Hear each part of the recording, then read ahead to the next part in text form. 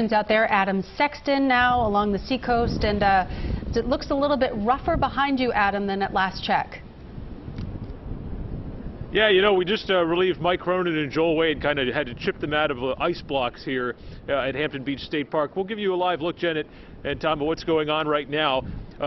Uh, Big story right now, obviously swirling snow, but you can take a look at the waves as they start to come in. Those are definitely up a little higher than you might normally see as we approach high tide. Uh, high tide at 5.07 p.m. Uh, tonight, uh, tonight, I believe. Uh, town of Hampton is expecting small localized flooding, nothing really beyond the norm, but as you can see right now, it's a pretty angry sea out there as it advances on Hampton Beach. Other than that, lots of snow, lots of wind.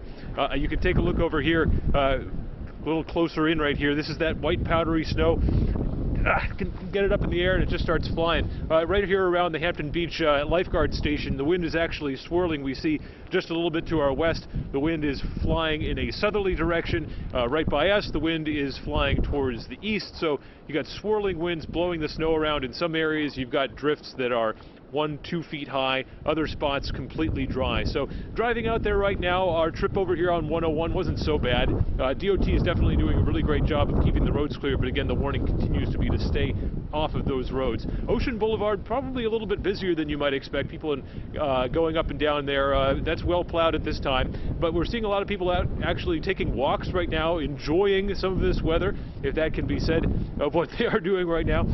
We're seeing also a lot of people out shoveling right now. Quite a few people in Hampton Beach, along the Hampton Beach area, are taking this opportunity to shovel out a little bit. Some of those snow totals looks like they're uh, looking at about that two foot range. But again, the wind has moved so much of this around that uh, some people, if you're by the corner uh, of a couple of houses, you might get a pretty big drift uh, right around that corner.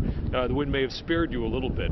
Uh, for now, we're live in Hampton Beach. Adam Sexton, WMUR News 9.